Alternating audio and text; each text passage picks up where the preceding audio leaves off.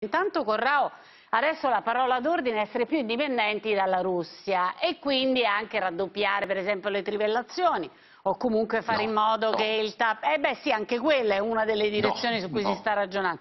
No, nel senso non ne voglio sentir parlare Ma... a... oppure no, intanto... no, non si farà. Chiedo. Ma no, no, capisco che è, è, la direzione che qualcuno pensa di intraprendere, ma io non credo che sia assolutamente una soluzione. Cioè, intanto perché eh, la, la, quantità di gas che possiamo andare ad estrarre è irrisoria non è sicuramente risolutiva, e poi perché comunque il nostro problema di eh, dipendenza da questa, da questa fonte fossile non la risolviamo andando a fare altri investimenti sulla stessa fonte fossile. Cioè, il problema è che noi Abbiamo, non abbiamo fatto i giusti investimenti nel corso degli anni, non ci siamo resi più indipendenti mm. energeticamente puntando su energia pulita. Noi abbiamo una quota più bassa rispetto, molto più bassa rispetto a stati che hanno eh, delle condizioni geografiche molto peggiori rispetto alle nostre. Possiamo fare esempi all'infinito e eh, questa dipendenza ora la pagano tutti gli italiani in bolletta. Attenzione perché la dipendenza della Russia è legata con la questione ucraina, cioè mentre agli Stati Uniti d'America, che sono quelli che dirigono le operazioni della Nato, interessa poco o nulla le conseguenze in termini energetici, da parte dell'Europa c'è un eh, No, no, ma questo, questo a me è chiarissimo, tant'è che chiedo, chiedo aiuto anche a Crosetto, no? quando,